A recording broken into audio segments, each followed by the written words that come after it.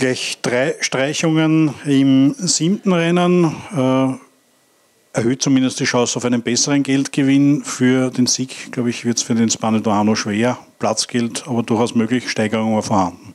Wir werden sehen. Ähm, er läuft äh, heute erstmal ohne Ersene in, in Front und äh, hat natürlich sehr gute Gegner hier drin. Delaria, Nice, nice äh, Xaver Venus.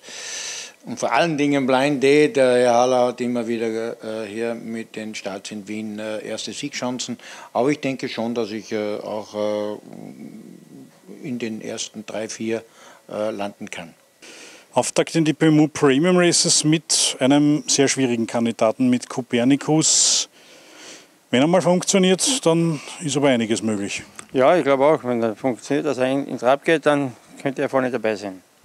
Aber Wels hat da gezeigt, äh, er kann ein ziemlich ungutes Pferd sein. Ja, aber ich glaube, auf der großen Bahn ist es besser.